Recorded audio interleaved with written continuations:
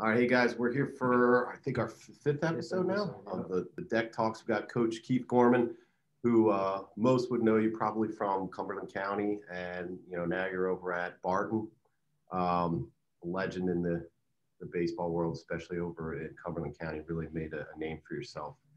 Um, a former player we have Jake Carr with us. So I'm going to let Jake kind of introduce you and, and give a little background on uh, on uh, your successes. Well, you know, coach, I know, you know, you had plenty of good teams throughout the years going in and out, you know, the top three spots. Um, you know, I think one of the most impressive parts about your resume is, you know, you, uh, in 2019, you guys were the national champions. You know, that was pretty cool. Um, you know, I know, I know you guys made it there before um, the year prior to I myself actually going to play for you, um, as well as, you know, being the national coach of the year in Division three in 2019 also is an unbelievable feat. I mean, considering how many good teams, programs, and coaches there are out there, um, as well as you know, you were juggling the director of athletics at the time, um, especially for a school that was kind of starting to expand a little bit um, athletically, and you know, some of the teams were starting to grow and turn into better programs themselves, um, as well as you know, you were the um, two-time region ABCA region coach of the year as well uh, in 2017 2019 for the region and the ABCA in 2014 and 2017. Um, all three of those years, you guys won all the league tournament titles. Um, I mean, six professional players signing contracts out of that area. I know that was unheard of, especially considering what you got. I think you had seven wins the year first, the year prior, or your first year there. I think it was eight the year before I got there. Yeah, it was eight. You know, so that's pretty incredible, as well as you know five All Americans, three region pitchers of the year, and one region player of the year as well. I mean, that's just absolutely incredible considering where that area is. Um, and, you know, just kind of getting the guys to come there, as well as, you know, when you were at Holy Spirit, New Jersey for 10 years, I mean, 120, 54, and one record over seven seasons is unbelievable, as well as three conference championships and finishing a school best at 25 and 5 in 2011, um, which is pretty cool. And then, you know, obviously playing at Kansas City Community College in North Central Missouri before, uh, you know, coming over here to the East Coast is pretty cool as well. Mm-hmm. So, yeah. And we'd love to hear about how you kind of got there, how you got, especially from Kansas City on over here. Um, you know. Well, uh, well, for, first of all, thanks guys for having me on. It's it's uh, it's great to be on a good show, and I actually watched um, watched your last one. You had you want to talk about a legend. I am no legend um, compared to Coach, uh, and uh, I think he was just on the main stage at the ABCA too, I believe. So um, kudos to you guys for for for uh, for having him on and all the other great uh, people he had on. But you know how I got out to New Jersey. It's it's um, you know it's kind of a, a funny story. You know I, I followed my wife. Um, she had a job opportunity. My family's originally from New Jersey, so it was just kind of ironic. And I wasn't sure um, I wanted to to to get into coaching. You know, my father was a, a coach for 35 years, and you know, really basketball coach and I did a little bit of baseball, but um, you know, sometimes uh, things happen in life, and and I was fortunate to um, to get on at Holy Spirit High School, um, and um, within within the matter of days, uh, as soon as I started coaching there, I was I was hooked, and I guess it was in my blood, and and at, from that point on, there was nothing else I wanted to do. Um, you know, I wanted to be in education, I wanted to be in athletics, and and uh, it was uh, it was a great opportunity for me to be at a um, you know to be able to coach and be a head coach at such a young age um, in a parochial school in New Jersey, which, as people know, is you know very competitive um, athletically.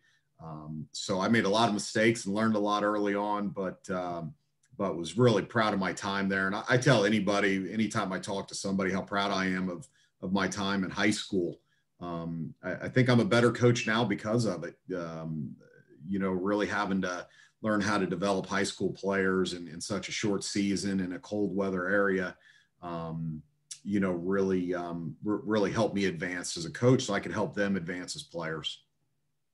That's awesome. That's awesome. Um, you know, I, I know I've always been curious about how, you know, you kind of, the whole Cumberland thing came to fruition, how you ended up there. I mean, you know, not nothing against the area. It's you know not obviously it's not the best place. If you show up, you're gonna be like, oh, I can't wait to go here. Um, you know, the school was awesome, the people were awesome, and the baseball program was obviously awesome. But you know, I know for some parents they'd be a little bit worried sending their kids into um, Millville, New Jersey. That's for sure. Mm-hmm. Yeah. Well, it, it, it, it's an interesting story. I, I had never really heard of Cumberland County College, uh, to, to be honest with you. Um, a really good friend of mine and one of the one of the absolute best baseball coaches I've ever been around, George West, um, uh, let me know. Played in the Brewers organization, I believe, when he was a player, and was a longtime South Jersey high school coach. Um, and he's now a principal at Middle Township High School. But um, you talk about a guy that can flat out coach baseball. It was him. I had a ton of respect for him. We were extremely competitive, um, competing against each other as coaches. Um, and, um, you know, and, and he and I were, were, you know, he was a confidential friend of mine and, you know, we'd talk about other opportunities that had come up for me to, to go into the college ranks and it was just never the right thing. And he had some friends at Cumberland County and, and, and to be honest with you, I, I really was kind of dismissing it. Um, and I was enjoying my time at, at Holy Spirit. Uh, you know, I didn't really think about making the move, but I went up there and, and interviewed for the job, and they had a fantastic athletic director at the time, Bobby Amundson, um, was a younger guy and uh, was doing some good things, and they were building a new baseball field, and you know, it, it started to grow on me. I start looking around, and I'm thinking you know, okay, you got some really great junior college programs in New Jersey, especially with Gloucester right there in the backyard. Um, but if I can tap into some some areas in Philly and and maybe start stealing a couple of recruits here and there, and you know the Vineland Millville area, as you mentioned, you know, I mean, there, there's a ton of talent in that area as well. So, um, and not to mention the short shore area where I was where I was currently working. So, um, then I started looking at their record and, and, they hadn't had a winning season in 10 years and, and had won eight games the year before. And I think six the year before that and four the year before that. So I'm, you know, I'm going, ah, I don't, you know, the, you know, what's going on, but it just, it moved. And, and finally I got hired in, in September, which was really tough. I had to break that news to my high school players, which was absolutely at that moment in my life, the toughest thing I'd ever gone through. Cause I love those kids and loved where I was at, and I felt like I was abandoning them, and and um, you know I didn't want want to feel that way, and I didn't want them to feel that way about me either. But um, they understood and they were gracious, and and um, went to Cumberland. We weren't able to recruit. My first practice there, I had two guys. Um, I had two guys and uh, two coaches, so we were we were we were matching the amount of players, and then by the end of the fall, I think we ended up having twelve I was able to get uh, about six transfers in. So we started the spring, in my opinion, the toughest, one of the toughest divisions or one of the toughest junior college conferences, regions in the country with 18 players. Um, somehow we were able to, uh, I think we went 24 and 16. I, I just remember feeling really great about that. Um, you know, I, I thought uh, that we exceeded our, our ability level. Um, it was the first winning season they'd had in 10 years there. Um, and you know, I was I was really excited. And I, I, I still touch base with a lot of those guys from that first team. That you know, I was I was extremely hard on them. Um, and um, they just kept coming to work every day. And and and I, I absolutely am proud of what we did. And and um, you know, so that that's kind of how I got there. And then you know, and two years later, you know, that year we we brought in a pretty good recruiting class for for that following year. And then two years later, we're, we're playing in the national championship games. So, um, you know, it was, it was, a really special thing. And I think some people, especially close to me, were questioning my decision to go to Cumberland. But, um, you know, I, I think I believed in, in myself. I believed in, in the guy that was going to coach with me, Mike Freund, who's, you know, dear friend. And, and, um, you know, um, uh, you know, we just we figured it out and uh, ended up being an awesome thing. And I hope it was an awesome thing for for that school as well. I mean, I can say personally, it was one of the better experiences I had.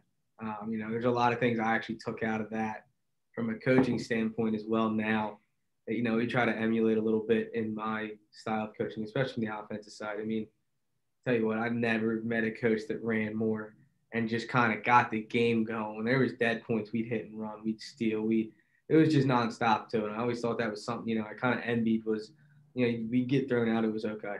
We're going right again, right after the next guy. And, um, you know, as well as the coaching staff was unbelievable there.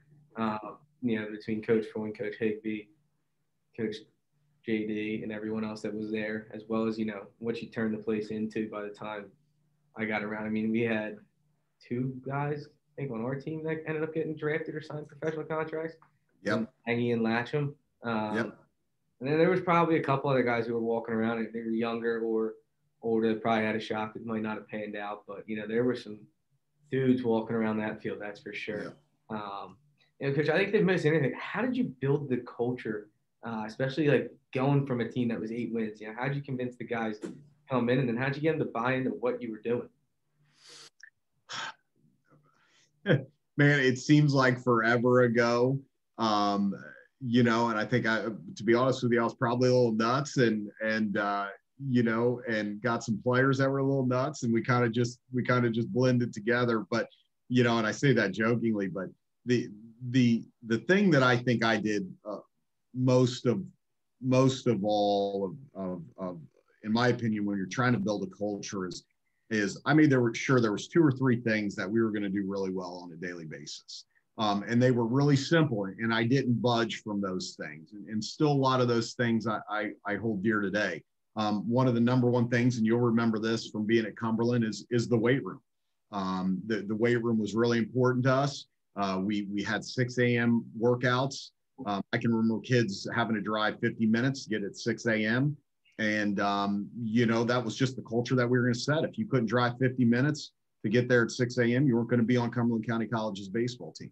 Um, and um, you know, so I wanted guys that that had some toughness and, and wanted to be there and, and wanted that that grind piece. So that that weight room was so important for us there, and and and I think really a big reason that that we were, um, you know, big reason for our success, but also a differentiator between other programs we we're recruiting against. Um, you know, being in Mike Trout's weight room basically, and and and you know having um, his great influence and, and his trainers, you know, um, having influence on our guys and with developing the workouts, you know, was a was a huge, huge motivating factor for us and also a great selling point for us. Um, you know, something real simple, you know, is, is that you were going to be on time every day. Um, you know, you were going to be on time because we had something we had to get done on a daily basis and and um, you know we were just going to respect each other by being on time and really being early. I mean jake you know that like if you were on time you were probably getting thrown out of practice. So you know and, and, then and then from there from the baseball side of it we were going to play really hard um, within the fundamentals of the game. Um, you know i expected guys to um, to play like they would in the game which means diving all over the place and you know um, getting hit by pitches when you need to, and and you know all those things. I, I just I had that expectation that we were going to play, um, uh, we were going to practice like we were going to play games, and so I think those were the three biggest things, and and, and those all are to me are simple things, but they have to be demanded and and and um, and then when the players start to man demand it of each other, which is what we had there, um, you know, it made I didn't have to police as much. You know, it was just an expectation from you guys, um, and and I just had a lot of fun with that. You know, uh, um, you know, because that's what we wanted to get to, and we got there really quickly by getting great great human beings in there. Um, you know, and um, you know that was awesome. You know, guys like. Um, you know, Jake and, and a lot of the players I had there always wanting extra work and getting extra work and wanting to learn about the game. Um, you know, I, that's what it's about. It was never, uh, you know, I set a structure, but I had to have the right guys that wanted to be in that structure and, and keep each other accountable. And that's what we had. And, and um, I think that's why we built such a great winning culture, consistent culture, and something I'm proud of. And um, I think more proud of than the other things you mentioned is from 2014 to 2019, um, nobody won more junior college baseball games than Cumberland County College and um, that was something I was really proud of because of the consistency of those teams, even losing the good players we would lose year after year. Um, so um, really, uh, really a special thing in my opinion. that's awesome, uh, and I can definitely remember the. Uh, you, know, you were always yeah. We do an IO right. Everyone's got a clean jersey. If you didn't die for a ball, you looking at you, are you crazy? Die for that thing right now. But it was every day at practice. There wasn't somebody that was what wasn't walking off the field just covered in dirt and mud. I mean, I didn't even know in practice we were running in fence for high pops and stuff. Whatever we had to do to kind of, you know, there there was that like tone that was set. early on. It was set in the first week, by the way. I specifically remember that my first week there, I was like, oh my God, we're getting after it right off the bat. Um, as well as, you know, and it was held that way, kind of that standard was held in the weight room too, and in conditioning. And, you know, I, I think one of the best, the, the thing I think I remember the best was we were on, I think, what, 94 game home winning streak at the time. And we were, came out sluggish. And I think we went down like eight nothing. And it wasn't good. you know, we stormed back, came we ended up losing the game, but he wasn't mad that we gave up all the runs. He was mad at the effort that we came out of the gate with. And that was kind of the thing that really stuck out to me, probably out of everything we went through, was you weren't mad about the score. You weren't mad about, you know, maybe we struck out, whatever happened in the game, the errors, the physical errors we might have made. It was more or less the mentality that we came out with that we thought we were going to maybe roll over someone or it would be easy. And we came out lackadaisical and someone took it to us. And um, that was probably the thing I remember the most about, you know, as a learning experience is, you know, you come in and you do and you work hard every day, whether it's first the worst team in the country, the best team in the country, or anything you do but that day is something that stuck with me ever since I was there was wasn't that you know the score and you know I think that's something kids probably tend to forget is you know they think they're mad about the score or the results of the actual game. No, it's the way you actually physically came out and decided to play the game, the mentality and the effort that you gave. You know, there's like you know we talk about all the time. There's a couple things you can't control. One is your effort, and that's something that I kind of stuck with me ever since. Where it was, if you give effort and lose, it's okay. But if you don't give effort and lose, you deserve to get chewed out a little bit. Um, that was one awesome thing that I kind of took from there, and I've kind of tried to, you know. And, and Jake, what you're talking about is exactly what we still talk about today. You know, you hardly ever hear me talking about wins and losses to our team when when we're there because baseball's, you know, how miserable baseball is. You can play your best game ever, and and you know, just by luck, you know, you lose the ball game because of, of whatever reason. Um, you know, I, I, try still to this day to get our guys focused on the process um, of, you know, putting yourself in a in a position that gives you a higher probability of winning a baseball game or or winning that pitch because the game's just too difficult. And sometimes you're running somebody that's better than you, and and you know, it just that is what it is. But you know, are you doing things on a daily basis? And you talk about your effort and enthusiasm. Um, you know, are you taking enough ground balls on a daily basis with a game like mindset? so that you have a higher percentage chance of, of you know, being a great fielder um, on game day? Are you taking enough cuts? You know, so to me that that to me the process was always more important than than the result. Now, listen, I didn't want to lose, you know that, uh, but uh, but the process is what I wanted us to you know to really dive into and and to love you know um, and then you know hopefully you know if you do that enough at the end of the year you got a chance to win the last game yeah, I think that's awesome. Yeah, I, um, yeah, I, I guess more like kind of mentioned this before, shifting gears a little that falls into the culture is fine. You like you said, you got to find the guys that kind of buy into what your your culture is, which I can tell is kind of it's a niche style. It's you know you want those nitty gritty guys that want to get dirty and you know, sometimes you might get that guy who's got the five tools, but he's a little. I can tell you probably one guy. You, you take the guy that's going to dive into the fence that's got three tools versus the five tool guy that's worried about his Evo Shield, you know, looking good and all that kind of stuff. So, um, how do you when when you recruit? Is there certain things you look for? Is it the way the guy warms up? Maybe like you're probably looking for something a little bit past just their physical appearance and stuff that to, that you know you can work with. Yeah, absolutely. I mean, I you know I, I think you know we're always looking. I mean, just just to we're always looking for one tool that we think can help us win. You know, does the guy have a really great arm, or does he have really great speed, or you know, does he have you know legit juice? I mean, we're in a world now where you know we, we're training all hitters like power hitters, which is um, you know, I could I could spend three days on that. It's an absolute absolute travesty what's going on with that. But um, you know, we're, we're looking for a tool. Uh, we're looking for something. But then besides that, because I always feel like if I can get a guy with one tool, we can help him maybe deliver. You know, um, you know, in, in a certain way in the game, and then he can while he's developing, you know, maybe some other tools. um, you know, or, or honing his abilities. But, you know, I'm looking for a guy, um, you know, that has great energy and, and you know, um, has just that motor, like it stands out. Um, he's the guy that's hopping up on the field. It, it's it's an enthusiasm, um, and it's a it's a tough minded mindset. I, I want guys that are a little fiery that I gotta that I gotta pull back a little bit before they they embarrass us. You know, like I'm okay with that guy. Get, give me that guy, and, and you know we'll, we'll, teach him a little bit. Um, you know that that doesn't that doesn't bother as long as they're they're they're respectful. Um, you know, I need some guys that are fiery and and and may even be fiery with me at times because I'm certainly trying to draw it out of them. You know, um, but that's that's what we look for when we're we're somewhere. I, I look at a guy who's who's um, you know not just playing hard when people are looking or when he thinks it's important, but playing hard all the time because he enjoys it. Um, you know, Jake mentioned the uniform's dirty. I mean, I, our guys always, even now at Barton, I mean, they're leaving the field and they look like they you know rolled around in the dirt for a while. You know, um, you know, we had a ton of those guys, and and that that's who we want. So they, the players we're looking for, they've got to have a tool, at least one.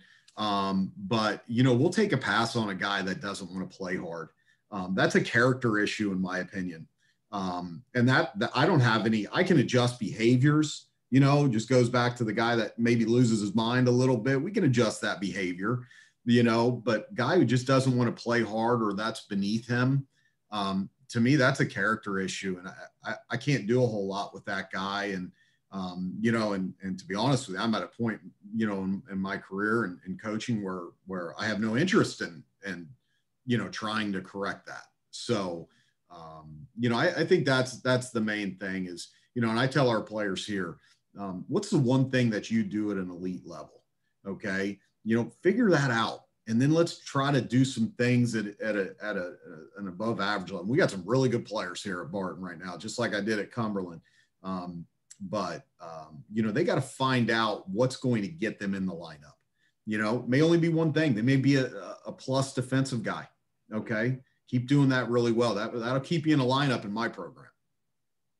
So, do you think there's um, an extra level of communication on your end? Of letting the guys know where they stand in the lineup for, from top to bottom. And I think that's something we've talked about with a lot of the other coaches is you've obviously created a, a good culture that wins and works and that there's something to making the, the, the 18th guy feel just as part of it as the, you know, one, two, three hitter. And, and how do you how do you create that and how do you keep that guy engaged and hopeful and working hard to be ready for his his shot? Yeah. Well, it, it, you know, and, and I hope that the players that have come in my program, you know, have this experience. You know, Jake was in my program, but Jake was an everyday player. I don't, I don't really ever remember Jake being out of the lineup, but there's guys that were on his team that that were not everyday guys or guys that maybe were thinking about, you know, the next year. Um, I, I don't know if I have all the right answers if I, or if I've always done it the right way, but what I've tried to do is be honest with them um, and and depending on their questions and and how they approach it sometimes it's it's brutal honesty. Um, and um, because I, I, didn't want them whether they agreed with me or not you know there was one guy right in the lineup and it wasn't them. So you know they needed to know exactly where they stood in my eyes so they could um, you know so they could get, get it figured out. And and we we did a lot of talking about that. And and I don't know how many times that you know guy who hadn't played very much but had worked hard all year and then all of a sudden he's you know you're an injury away and he's in a big spot. I always felt like that guy was ready.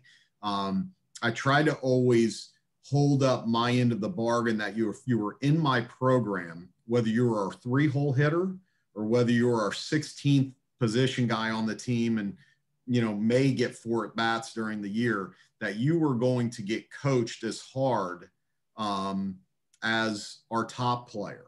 I tried to coach all of our guys very hard. I tried to demand a lot from them because I knew that they would get better. At what level would they get better depend on their ability and how much extra work they did and, and, and things like that. So I, I try still to this day to be very honest. Um, I have great kids in my program here, and, and it's really tough to get in our lineup and and and get innings and and you know, and I tell them all the time in practice, and um, you know, maybe I should do it more. As I tell them, if you want to come talk to me about this, my door is always open. Um, I don't want you to wonder. Now, a lot of times they know where they're at.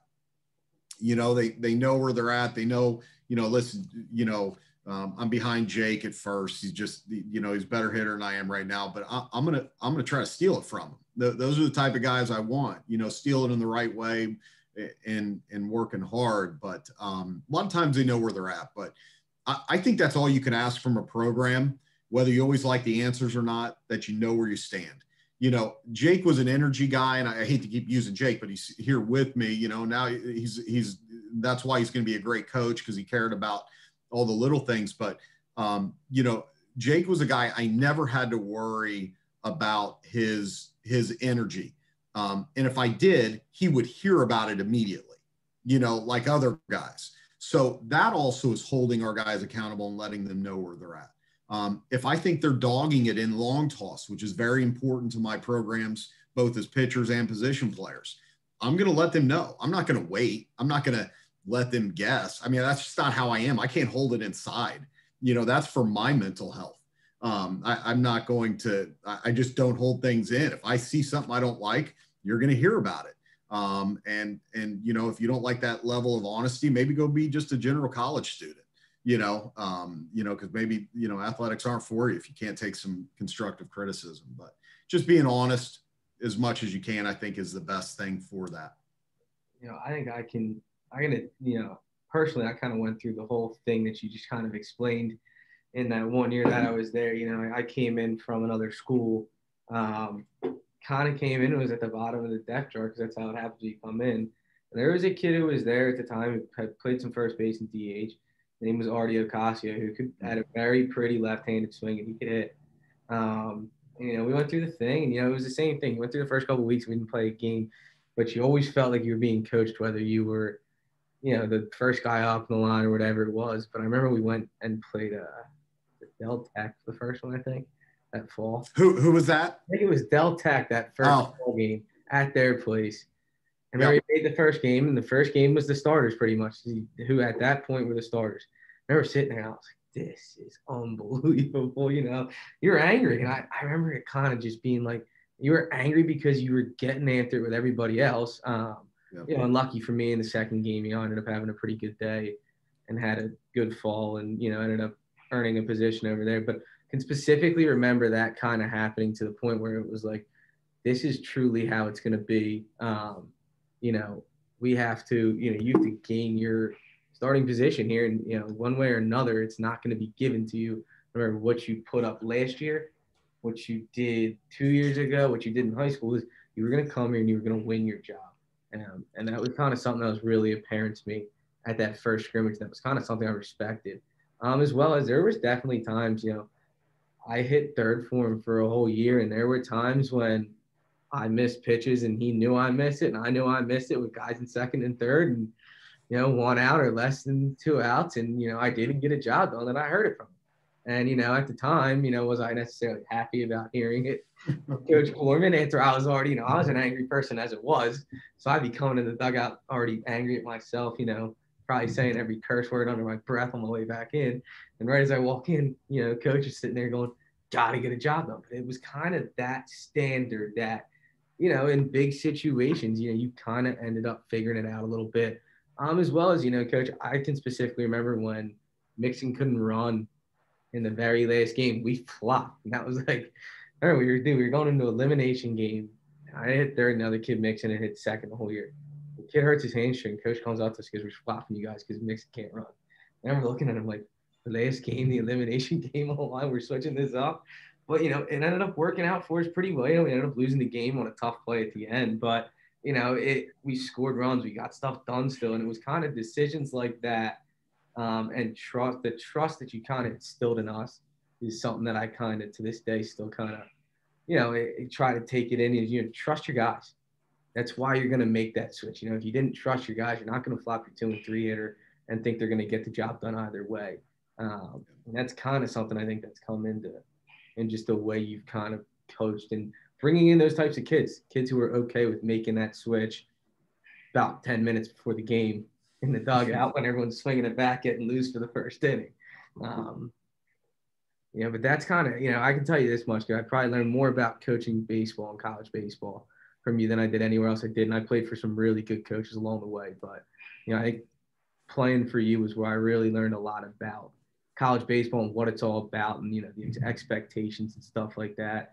Um, and you were probably the only coach that held me um, to a different standard than, you know, everywhere else I kind of went, it was, you know, just keep hitting, just keep hitting, just keep it. Here it was hit, play defense. I remember I couldn't throw when I got there. I couldn't reach third base.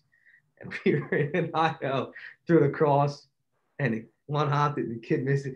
He looks at me, he goes, if you can't reach third base, you can't play first base for me. I'll never forget, I don't think I've on the rest of the year.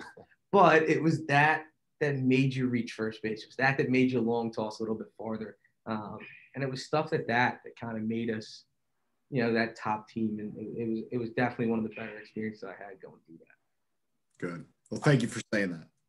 I think kind of building off that too, I'd be curious to hear, um, like you said, you thought coaching high school kind of really helped with your coaching career. I'm guessing that kind of went back to how to like structure practices and, and how to be as efficient as possible. Like you said, in a short season, you know, you got guys not all completely focused wanting to play in college, you know. So the the development side, um, and like you said, you're you're sometimes looking for just a one tool guy. I'll help them develop where D1 coaches and things like that, they're looking for, they don't want to have to develop too much. They're looking for guys that kind of already have it all. They can just plug them in. What, um, you know, what has changed maybe, or what have you found is kind of, without giving too many secrets away, you know, staples of, of your practices? Cause I, you know, I've always found coaching myself is I'm, I'm not too loud in games because I, I do my yelling and coaching at practice. By the time the game starts, you should kind of already know what to do. And I'm just kind of guiding things a little bit. But um, yeah, I would love to hear a little bit about how you structure your practices and some of the things you really hone in on. Yeah, this is my favorite topic to talk about is, is practice structure because because I as you mentioned that that is our job. You know, um, I get into to game day, and you know we have some decisions to make, but they're really very minimal. Um, you know, when you look at it, and you know what I try to do in game is challenge our guys. If I don't think that they're they're in the right mindset, you know, I might just try to switch that that that a little bit. But practice is where we, we coaches we've got to earn our money, so to speak. Um, and you know, I I I go back to my days as a high school teacher if I wasn't highly organized and didn't have things going every minute, I was going to have some classroom discipline problems. Okay. So um, the more people stand around, the more they're going to find other things to do to occupy their time that maybe aren't in the best interest of me running a, an effective classroom. So I, I feel that baseball practice is no different. In baseball, it, it actually makes my blood boil when I'm at a baseball practice and there is just tons of guys standing around um, it, it, makes the game not fun, in my opinion. And I, I've, you know, I have a football, a little bit of a football background too, and I try to take that into into how I organize practices. And you know, even though my baseball practices are long, I don't think the guys feel that way because they are constantly moving around. So we have we have lots of stations. I have great coaches that I I have on staff that you know for individual sessions and things like that. So I try to organize it to a point where it's faster than anything that they're going to experience in a game. Um, and that's the only way I know what to do. And you know, the minute we start standing around, they lose focus, and and really, it's it's a waste of their time and and uh, waste of waste of time for them to develop and get better. So um, I've become, you know, and was and and still am. I, I try to learn new things to do at practice and how to how to make them flow more. I have great coaches now that I give a lot of responsibility to help with that.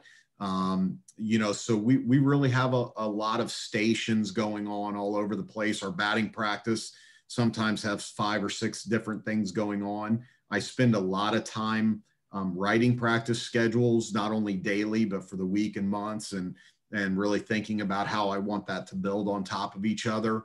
Um, but you know, bottom line is, is we don't do a lot of conditioning, you know, maybe unless we, we're, we're we got some discipline conditioning going on, but, um, you know, I want our guys moving around really fast. We don't walk anywhere.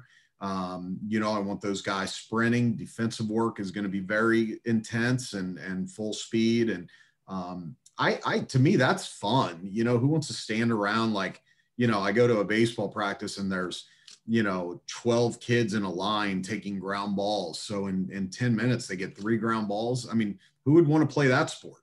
You know, I, I mean, you know, just blows my mind still to this day. So um, the more efficient um, that we are in practice and the less standing around we have, um, guys are guys are going to get better. And and I learned a lot of that in high school.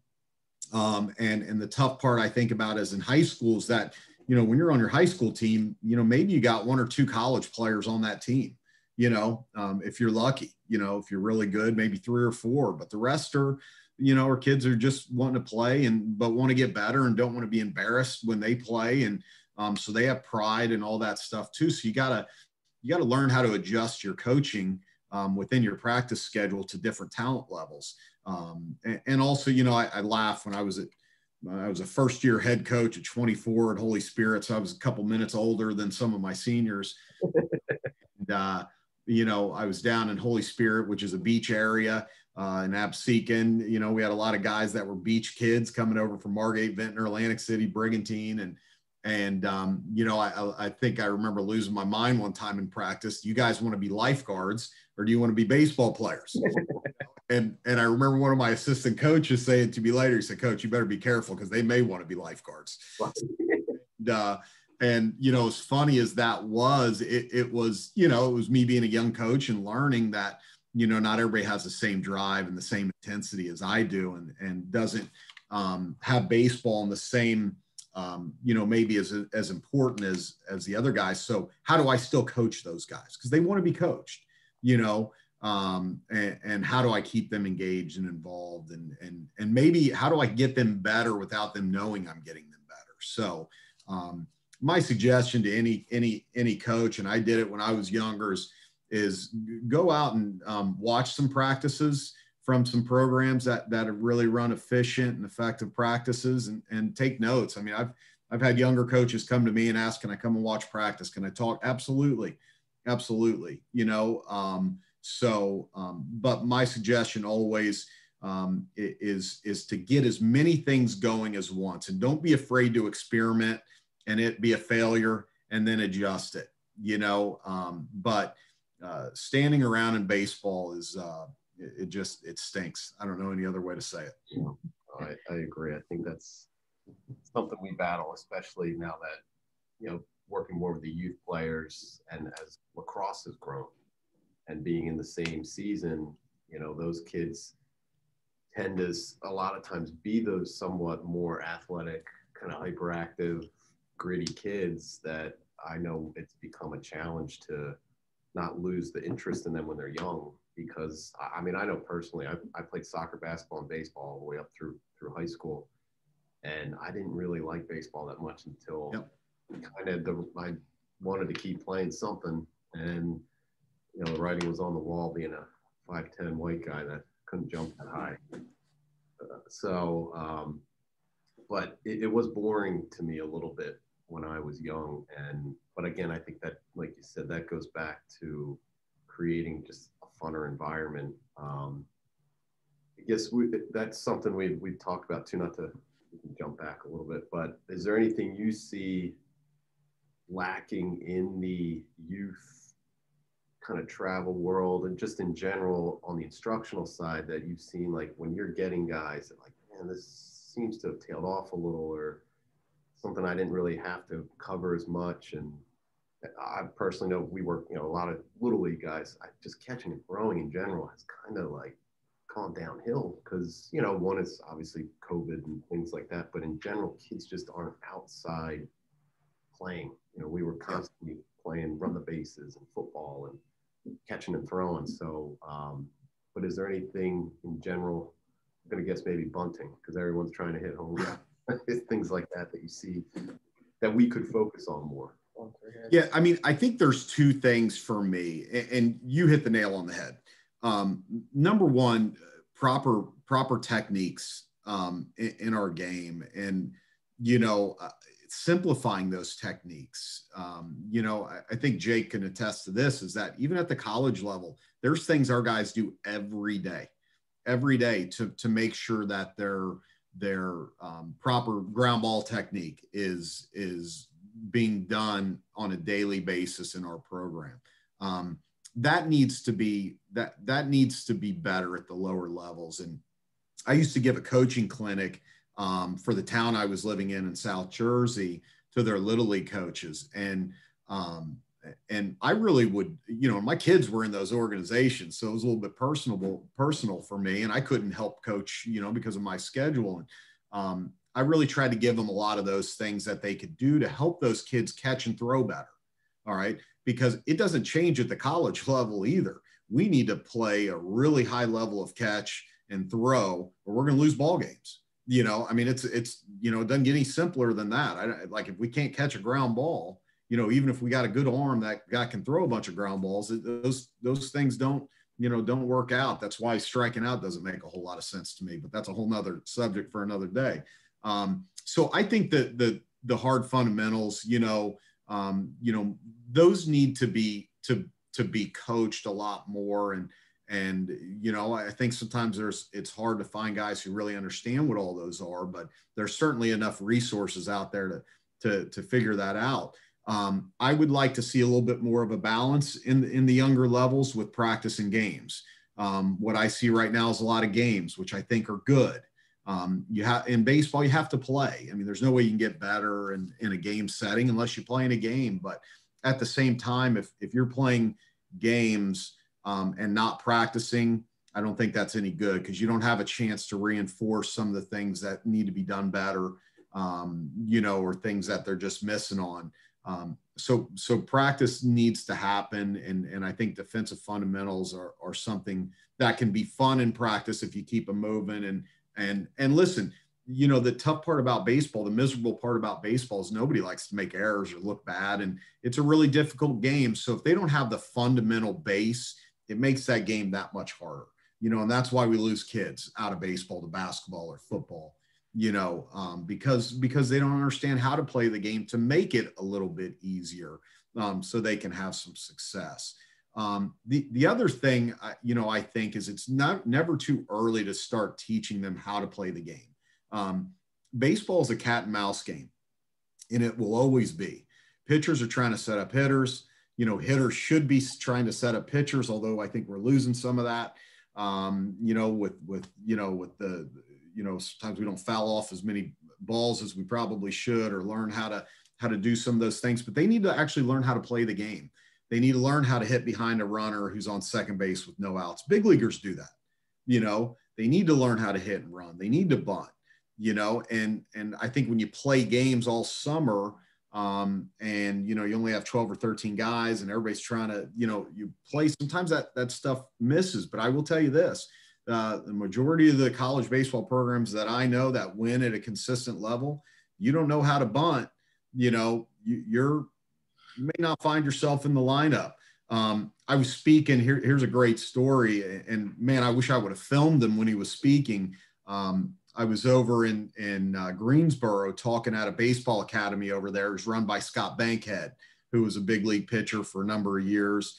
Um, uh, he had uh, I'm in there. I talk to their kids and watch them hit a little bit, and and then he he he has Whit Merrifield come in, and talk to the guys. And, and if you don't know who Whit Merrifield is, for anybody listening, he's he's uh, he's had more base hits than George Brett at the same point in his career. So um, pretty good, pretty good Kansas City Royal. And you know, Whit had a great great college career, but the stories he was telling was unbelievable. You know, you wouldn't believe the talent he was surrounded himself with at South Carolina, and all he did was bunt for those guys as a freshman. And that's why he stayed in the lineup. You know, now you're talking about a big leaguer now and a guy who won uh, had the game winning hit for South Carolina in the College World Series championship, whenever that was in 2009. And he made the he, he made it into lineup every day because he could bunt. That's at South Carolina. They're pretty good down there, you know. So um, and you know I, I think there's some of that that we miss. Um, uh, I think we need to figure out who we are. It, you know, if you can bunt, be a really great bunter. If, if, if you got really good speed, figure out a way to steal bases. You know, we need to, we need to help them with that. Help them watch pitchers and the catchers and the middle infielders and you know really learn about about the game and, and how it is a cat and mouse. Okay they're weak in this area so we're going to exploit that. You know i don't know if we always we always look at that and and um, I, I just I think that that to me that's the biggest thing I see. I, you know, I see a lack of fundamentals in our game, um, and I, I see um, I see a lack of understanding um, how to play the game, especially with base running and and and you know hitting and um, strategy, those types of things. Yeah, can definitely attest to the bunt for a base hit. Mm-hmm. Definitely attest to that. I actually have a good story based off of that from the fall when we were in Wilmington. So he always said, if you can't get your bunts for a base hit, then you will not take beep it. we're at Wilmington, right? Dude, I foul like three or four of them. He get out. Next guy. Get out. Throws me. I get out. I don't even take any BP. But I'll never. I was sitting there. I was like, really, really? I didn't get. I think I got like one of four down. He's like, nope, get out. I was like, oh man. but you know, and it was true because we used it an unbelievable amount. And you know, I, I, know in some weekend series, if you know, some of us lefties got a little pull happy because you know, we might have been getting a little fed inside or something. They kind of had the third baseman shift away from the line. First thing we do, right, is Coach Saw, he give us the bunt sign, bang, we lay it down, and at least one time it turned into a double because they shifted somebody so far over. Um, but you know, it, it really is something that I think you know you do focus on extremely well compared to a lot of other programs I've seen. Is you know one through nine can bunt and can bunt for a base hit, and it's something that you know if you can bunt for a base hit and not have to sacrifice, you're not necessarily giving up and out while moving a runner over to, which sometimes I mean you know from experience it leads to huge innings where you know you get three, four, five runs, and you know we always talked about that at Cumberland was let's try to get a big inning. You know, let's try to eliminate the big inning, but let's try to put up a big inning. But you know, if you do the fundamental things, it's weird how it ends up being a big inning compared to you know any guy. I think you get three hits in a row, four hits in a row. It's not an easy thing to do, and especially at the higher levels when you know some of these guys are throwing 90, 92 with six inches of movement. Good luck. Good luck. Yeah, for sure. And I think that goes back to the kind of player you want. You want a guy who wants to bunt. He doesn't care. Yeah. He's not going to give you that. Well, I'm, I don't bunt. I'm not a bunter. It's like yeah.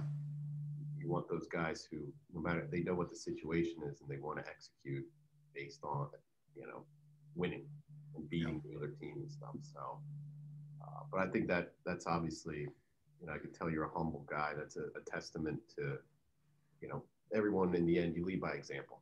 So. Yeah think the the culture you've created, the players that you're drawn to your program, in the end, they're they're, they're drawn to you, and I think that's um, you know for a guy who runs a, a business to a degree, it's it's hard, man. It's and it can be very exhausting and stuff. I, I guess one kind of I could talk to you forever, but start to wrap it up.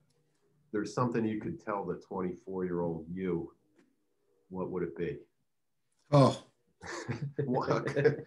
long list, right? I'm sure, but I, you know, I, I think, I think I kind of already mentioned it, but you know, I think the 24 old me, if I could go back and, and talk to that fiery, um, confident, um, you know, person, you know, I, I think I'd tell him it, it is take a, take a deep breath, you know, number one, and, and, and number two, remember not everybody thinks like you. Um, you know, and and uh, you know, I, I think that's really important lesson for all young coaches to to learn is that um, we are all different thinkers and we all have different strengths and, and different mindsets and we all have different problems too. And um, how do you reach all those guys? Because that is our job as coaches is is to reach everybody, not just the ones that it's it's convenient or easy to reach. Um, you know, and and um, you know, so I think that's that's the biggest thing. I think I, you know, it's a little off topic for what we're going to talk about, but you know, I thought we finished with a little hitting. Why not, right? I, you know, coach, I'd love to know what you guys are doing. You know, and I think getting, you know, some of the people up here um, in the PA, New Jersey area, a little bit more about Barton, Barton baseball. You know, what kind of technology you guys are doing in hitting. Uh, you know, I'm not a big pitching guy, so you know, we can save the pitching for another day. but you know, I'd love to know what kind, you know, how you guys are using it to develop guys. You know, maybe some of the things you guys are doing with your hitters, and then you know, maybe a couple things you tell a young hitter to focus on. Um, you know, that might help them be really be able to excel and get a shot at the next level. Yeah. So Jake, I, I, you know me, I love talking about hitting, and and we are a pressure predicated offense.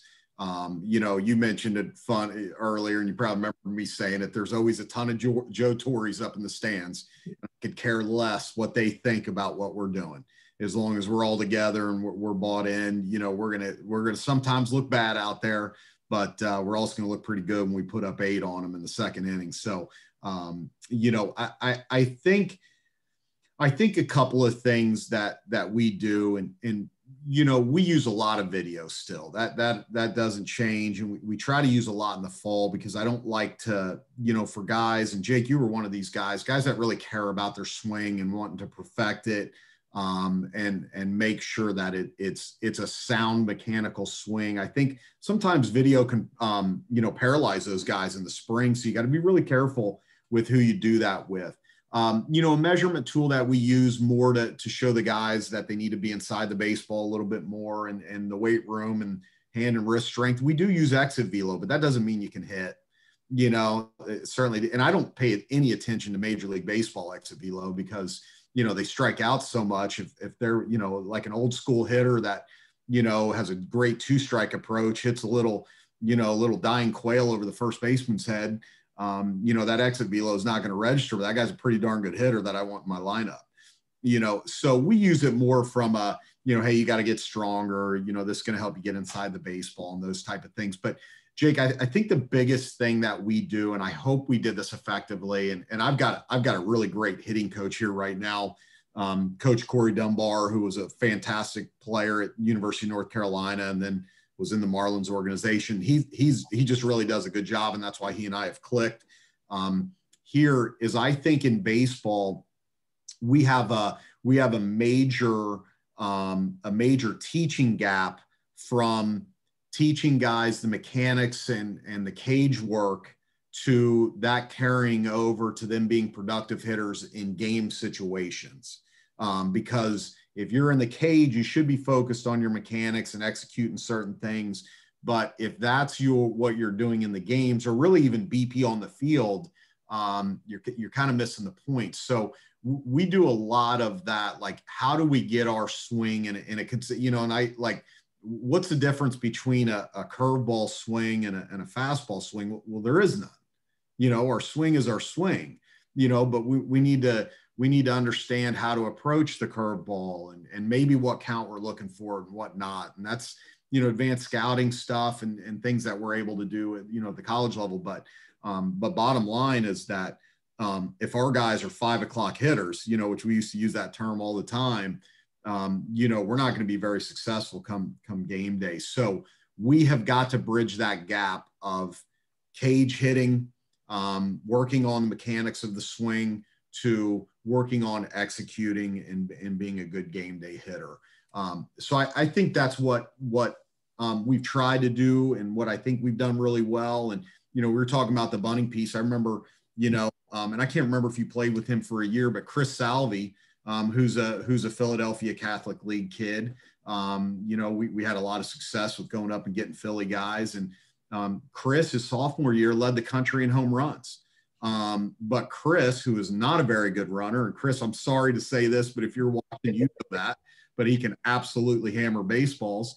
Um, Chris would drop down a bunt for base hit every once in a while because the third baseman was 25 feet behind the bag, you know, and I think he was, if I remember right, three or three or four for four on bunt for base hits. Now I was upset with him every time, but you know, it was just the kind of the kind of guy he was. He wanted, you know, he wanted to get on base, and that was a team mindset. That wasn't a that wasn't a, a me, me, me. And there's a guy who we wanted to swing. And most home runs in the country as a sophomore, you know. So, um, you know, we're, we're really just looking for that complete hitter and trying to help them um, understand being a complete hitter. And, and you don't have to go too far. I mean, you know, Major League Baseball, the, MLB network's doing a great job getting these, you know, elite hitters in, in Major League Baseball and, and listening to what their routine and what their process is. And, And um, you know, it's a lot different than sometimes what the Twitter hitting world is is putting out there. And and I think they should probably listen a little bit more. Not that you can't learn something from everybody, but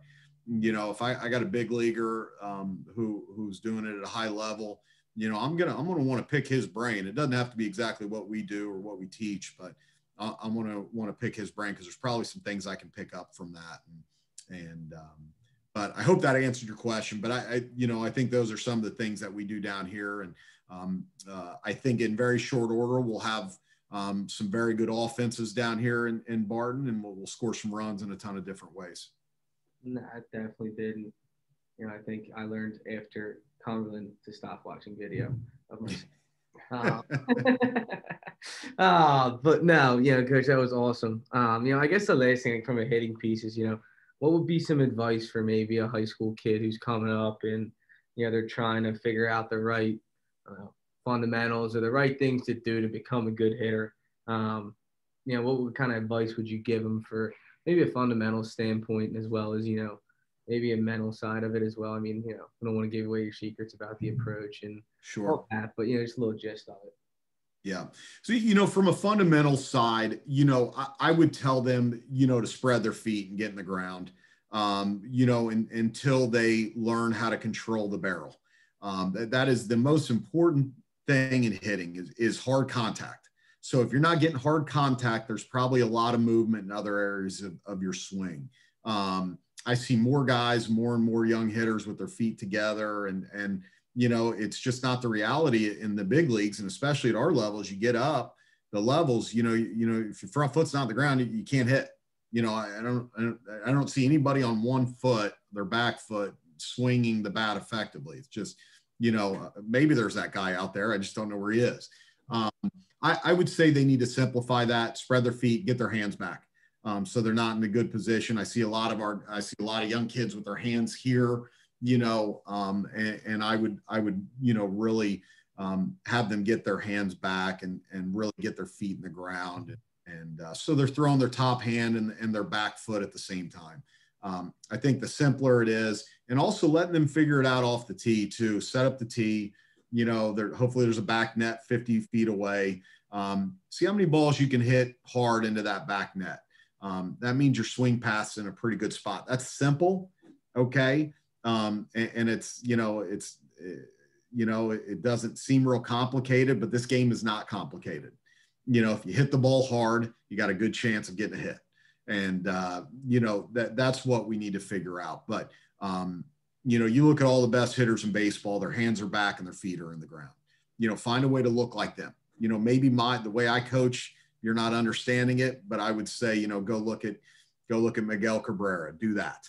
Um, you know, go look at, at there's just so many talented hitters in our game right now. Go look at what they're doing. Do that. Um, you know, and um, and don't strike out. Don't strike out until you're paid forty million dollars a year to to to strike out and just hit a bunch of home runs. Um, I wouldn't strike out if I were you. So. No, I think that's awesome, uh, especially considering I think you kind of touched on it earlier. Um, maybe in a little bit different sense, but you know, I think today's hitters, kids lose finding who they are as a hitter. Um, you know, if you're a high average guy that can hit 360 to 380, hit a ton of doubles, do that. Don't sell out for another 50 points lower um, so that you can hit a bunch of home runs. You know, I think it's funny because if you think about it, in the ninth inning with a guy on second and a tie game of two, are you going to take the guy hitting 300 to go up to the plate? Or the guy hitting 220 with 60 home runs. Take the guy hitting 300 because he's got the best chance to get a hit and win the game for you. And I think that's something that's kind of going off what you said is lost a little bit today. Is you know, and I know that the analytics tell you on base percentage yep. and extra bases, but there is and there always will be something to a batting average. You know, and it shows consistency. I think that's something that's lost today. Um, you know, it might not be as important as OBP and hitting a ton of doubles and but it does mean something because you know we know we can rely on you to get on base and make something happen uh, more than you know probably half the MLB and half the rest of the guys hitting out there today um, that are hitting 50 bombs and hitting 220 Well, the most important analytic that is there, and and as far as I know, unless they're changing the game this year to exit velo and launch angle, uh, get you extra runs. um, runs are still the most important analytic stat I looked at.